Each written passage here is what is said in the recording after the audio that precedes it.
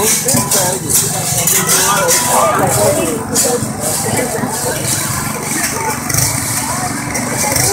Já fica cheio errada com isso.